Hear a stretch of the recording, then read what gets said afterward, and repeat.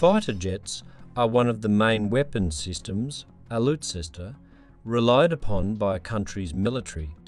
Boeing introduced the first T-7 Red Hawk advanced training jet ordered by the US Air Force before the aircraft was delivered. It is the first of 351 aircraft ordered by the USA as a replacement for the T-38 Talon that has been in use for six decades.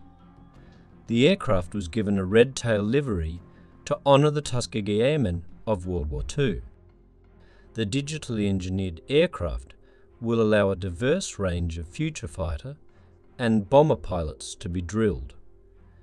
The T-7A provides advanced training systems and capabilities that will meet the demands of today's and tomorrow's national security environment, he continued.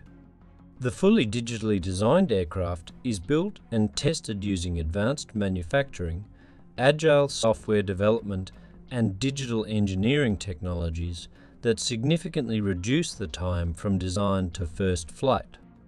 That's why the Red Hawk is also called the ETA-7R as the first US Air Force aircraft to be designed using a digital approach.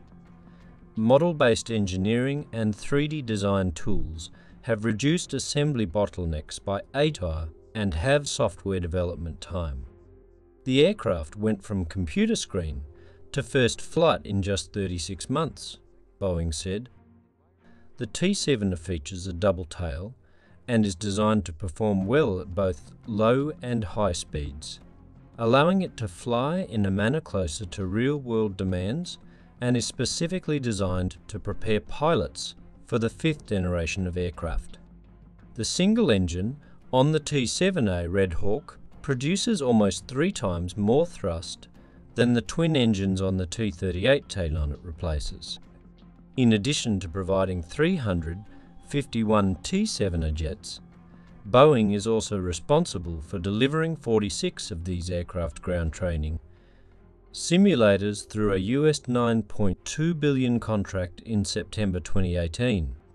As fighter aircraft types evolve, the air superiority fighter is emerging as a new specialized role with supreme speed, maneuverability and air-to-air -air weapon systems, able to hold its own against all other fighters and establish its dominance in the skies above the battlefield surface.